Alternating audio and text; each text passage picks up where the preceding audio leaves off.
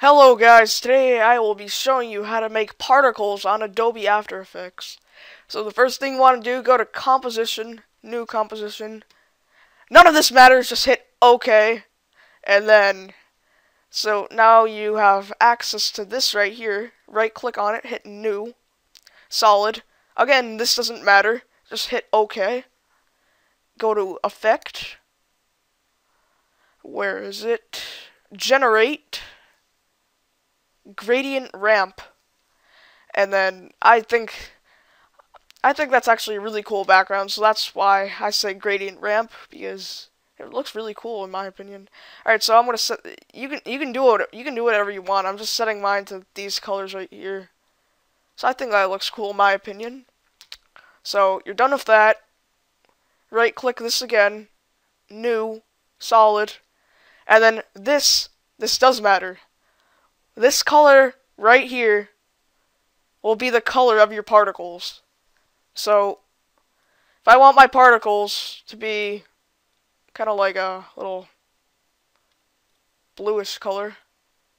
Okay, that's purple, but whatever. uh, you can go down, when you finish that, just hit OK, and then you can go down to Effect, Simulation, Particle, no, CC Particle World. And then with this little current time indicator thing, go to around the two second mark. And then you should have this menu right here. Go to grid and guides. And then uncheck grid right here. And then you can go to that. Next you want to go to producer. And then since this is kind of looking all like volcanic and stuff, I don't think you want that if you want to feel the particles. So what you can do, you can uh, you can just drag this, and then it's going to space out the particles. See? Isn't that cool? Yeah, I know. Okay. well, anyways, so I don't I don't want lines as my particles, but I think that's spaced out. I think that's spaced out enough, so you can just get out of that. And then physics. And then velo velocity, if it's 1, that means that it's not going like straight down, it's kind of going at angles. So if I just want it to go straight down, type in 0. That's all you have to do. And then as you can see, there's no really curves or anything. And then for gravity, this kind of determines how fast either up or down your particles are going. So if I want the particles to be going up, I have to put negative before it. And I will just set it to like negative 0.2 or something, so it's just going up and it's going pretty slow. But if you want it to be going down, just take away the negative and then the uh, put that to whatever you want. You just have to, you just really have to play around with it and then see, see what you like, how fast you want it to go. And then that's good for that. Go to particle, and then go to the drop down box. You have all of these choices. You have line. I don't like that personally. You have star. You have faded. You have faded. No, shaded sphere. Faded sphere. And we can go down textured faded disk. Okay, that's nothing. Okay, I guess all those are nothing. That's odd. Lens bubble. That's cool. Lens dark and fade. So, and then this cube. That's kind of cool. So, I think, I think I'll go with this for now.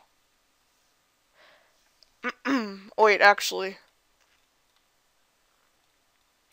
Hold on.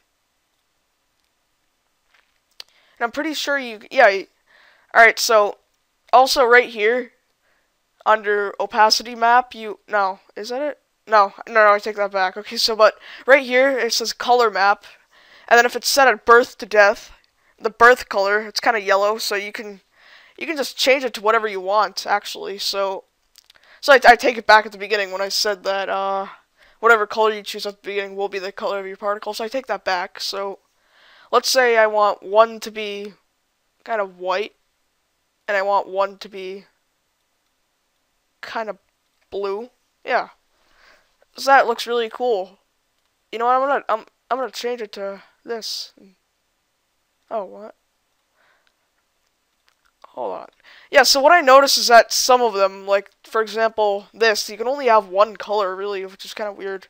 But for something like this, there's two different colors. See? So let's say yeah, so it goes down.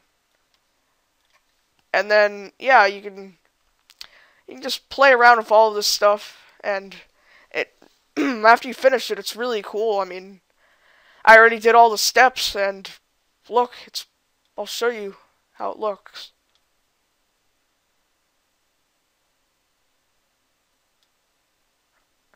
So after you get it rendered and stuff like that, it'll it'll go at the real speed, and it's actually really really cool.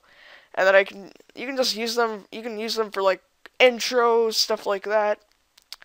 And yeah, so lens like they're really cool. I don't know. So yeah, so this one, if I want to save it, I think I'll stick with this one. And look, so as you can see, they're going down.